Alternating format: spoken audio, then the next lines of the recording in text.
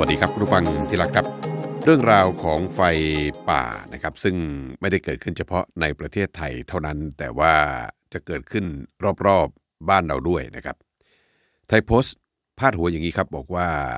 ไม่นิ่งนอนใจ นายกหารือเลขาธิการอาเซียน ดอนยกหูถึงรัฐมนตรีต่างประเทศเพื่อนบ้าน แก้ปัญหาฝุ่นควัน เนื้อหาใจความเนี่ยนะครับ นันทิวัฒน์สามารถซึ่งเป็นเลขานุการรัฐมนตรีว่าการกระทรวงการต่างประเทศนะครับนันทิวัฒน์ได้โพสต์ข้อความผ่าน Facebook โดยให้หัวข้อว่าปัญหาฝุ่นควัน ชีวิตและสุขภาพของคนไทยต้องได้รับการกระทบกระเทือนอย่างหนักจากสภาพรุนแรงของฝุ่นควันที่กระจายตัวไปทั่วทั้งประเทศ โดยเฉพาะอย่างยิ่งในพื้นที่ภาคเหนือนะครับ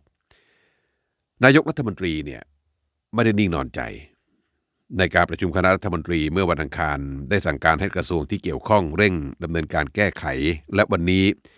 ลุงตู่ก็ได้หารือกับเลขาธิการอาเซียนที่มาเยี่ยม และก็พบปะหารือกันที่ทำเนียบรัฐบาล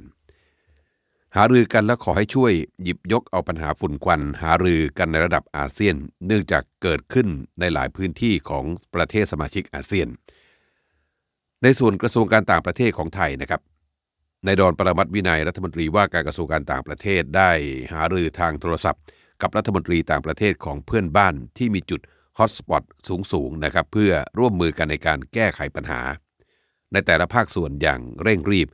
ปัญหาฝุ่นเกิดขึ้นจากการเผาทั้งในประเทศแล้วก็ประเทศเพื่อนบ้าน มีการส่งเสริมการปลูกข้าวโพดและอ้อยในประเทศเพื่อนบ้าน โดยเอกชนจากประเทศไทย แล้วเกษตรกรของเขาก็ใช้การเผาเนี่ยแหละครับ เพื่อที่จะปรับดินสำหรับการเพาะปลูกงวดใหม่ สิ่งที่เราทำได้คือการห้ามการนำเข้าข้าวโพดและน้ำตาลจากประเทศเพื่อนบ้าน ภาคเอกชนเนี่ยก็ต้องช่วยกันในการรณรงค์ให้เกษตรกรทั้งในประเทศแล้วก็ต่างประเทศเนี่ยนะครับ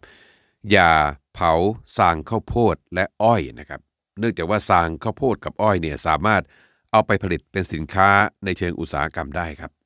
ไม่ว่าจะเป็นการใช้ทำปุ๋ยหรืออะไรก็ตาม หากภาคเอกชนไม่ร่วมมือเนี่ยภาครัฐก็คงต้องใช้มาตรการทางกฎหมาย แล้วก็มาตรการทางภาษีเนี่ยเข้ามาดำเนินการจัดการกับปัญหานี้ต่อไปนะครับ